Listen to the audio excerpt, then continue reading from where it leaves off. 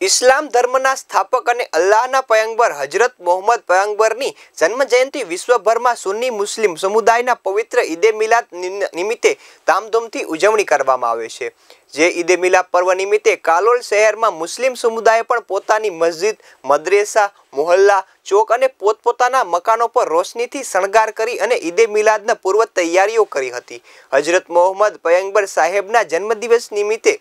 કાલોલ શહેરના મુસ્લિમ બિરાદરોએ બપોર પછી જોહરની નમાજ બાદ નુરાની ચોક સ્થિત